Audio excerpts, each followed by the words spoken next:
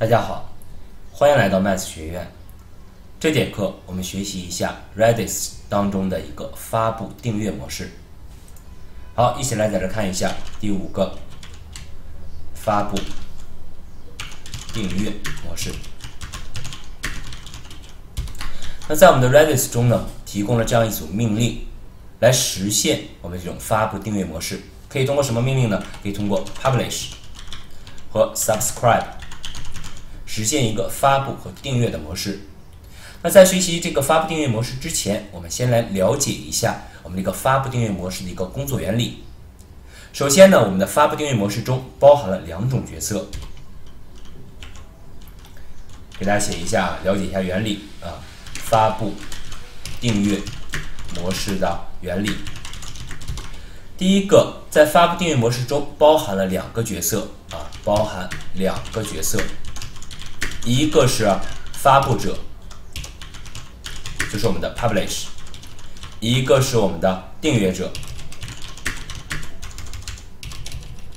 一个是订阅者，这两个角色。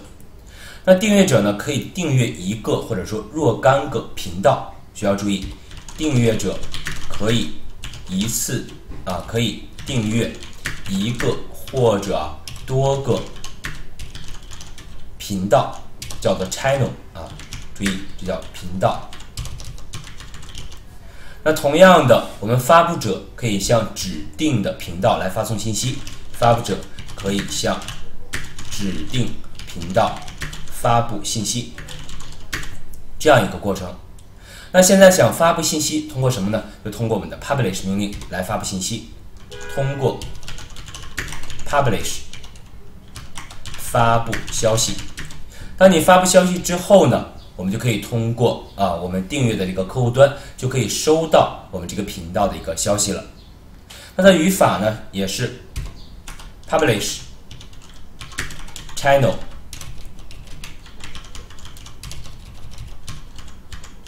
加上一个消息，这样就可以来发布我们的消息了。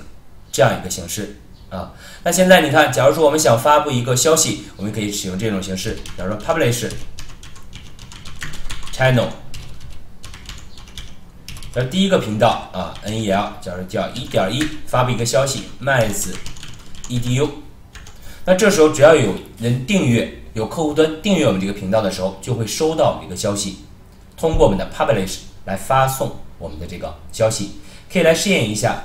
打开我们一个啊客户端，写上一个 publish channel 一点一这个频道，发布一个消息是 math edu。接着你看到了返回值是一个零，那这个零呢，代表的是此时没有客户端订阅我们这个频道，所以说返回的是一个零啊这样的一个效果。那 publish 这个命令的返回值呢，就是表示接收到这条消息的订阅者的一个数量。假如说现在有三个客户端订阅了我们这个一点一这个频道，那现在你发布一下这个 mass edu，你看到就会不是零了，而是有几个客户端订阅了我们这个数量啊，这个订阅我们一个客户端的一个数量。那接着来看，现在我们就可以打开一个实例，多打开几个啊？我们可以写一个 G 盘啊。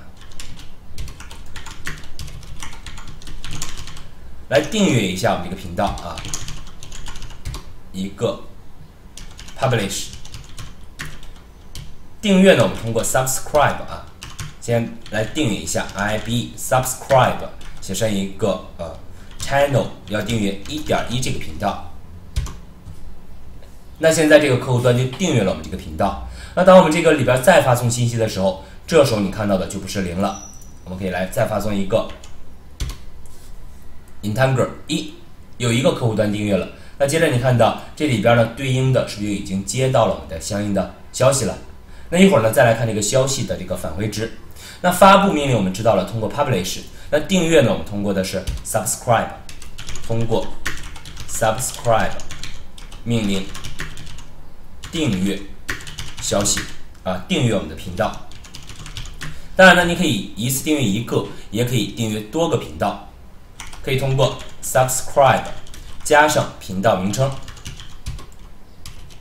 NEL，可以一次订阅一个，也可以一次订阅多个订阅多个频道都可以。那现在你看，刚才我们订阅了一个，有一个客户端，我们再来一个，cd 到 redis 六四 redis 杠 cli，我们再来订阅一下这个频道，写上一个啊 subscribe，加上频道名称 channel 一点一，好，又订阅了。现在此时是不是有两个？是不是有两个订阅了我们这个啊 channel 一点一这个频道啊？但是需要注意，你看到刚才我们新订阅的这个 channel 一点一，你看到之前我们发送这个 mass edu 这个消息了吗？没有。记住，发出的发出去的消息呢是不会被我们持久化的。也就是说，当有客户端订阅了这个频道之后，只能收到后续我们发布的这个频道的消息，之前发送的消息你是收不到的。这一点需要注意，在这给大家写一下啊，发出去的消息。注意，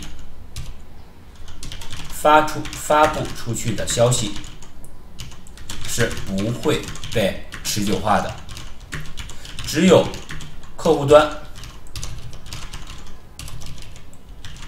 订阅之后，订阅这个频道之后，才能收到之后发送的消息。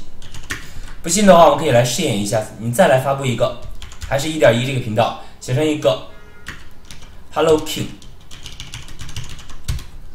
那此时呢有两个客户端订阅了这个频道，那接着你看到返回值是一个二，那在这里边呢相应的就会收到我们这个消息 Hello King，那一会儿呢再来说这个返回值啊，再看这儿，同样的是不是收到了 Hello King 呀？这样的效果，注意只能接到我们之后发送的这个命令。那现在看到了，我们接到这个通过 subscribe 之后，我们是订阅了这个频道。订阅频道之后，你也看到了会有几个返回值，会有几个返回值。首先呢，我们再来打开一个实例，打开多个没有关系啊。再打开一个客户端啊，redis 六四，接着呢，redis 杠 cli。你第一次在订阅的时候，通过 subscribe channel。一点一，好，订阅之后，你看到返回了三个状态。那这个返回的这个状态呢，可以看一下，分别代表着什么？首先呢，这三种类型的一个回复啊，三种类型的一个回复。那第一个呢，是我们这个第一个这个值，就是我们的这个消息类型。那现在你看到的是一个 subscribe，它代表的是订阅成功，它的一个反馈信息。那第二三个值呢，也可能根据你第一个值的不同，它返回的也不同，含义也不同。那现在第二个值，我们直接就看到了，这是你订阅的哪个频道，这个频道的一个名称。而第三个呢，是代表当前客户端订阅的一个频道数量。那当前频道你是不是只订阅了这一个频道啊？对吧？那接着你看，我们还可以同时订阅两个频道或者三个频道。我们再来打开一个。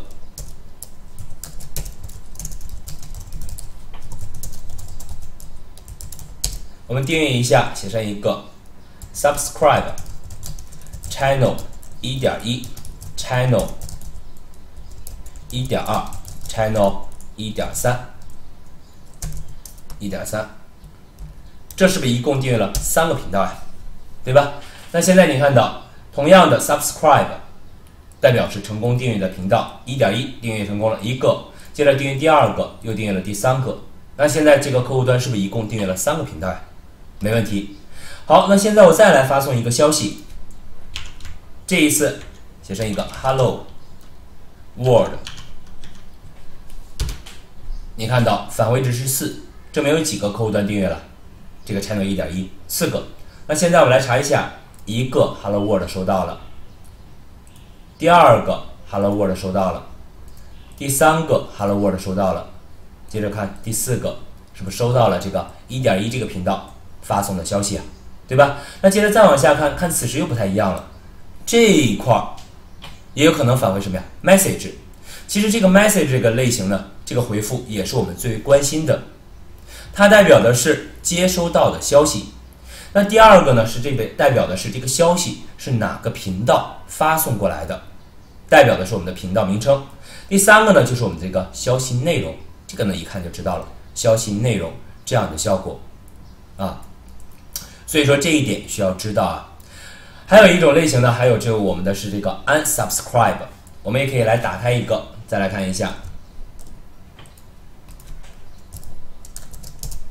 但是呢，这个 unsubscribe 就取消订阅，这个在我们这个 Redis 客户端中是验证不了的，因为它已经给限制了啊。Redis 杠 CLI 六四啊，Redis 杠 CLI，你写一个 unsubscribe，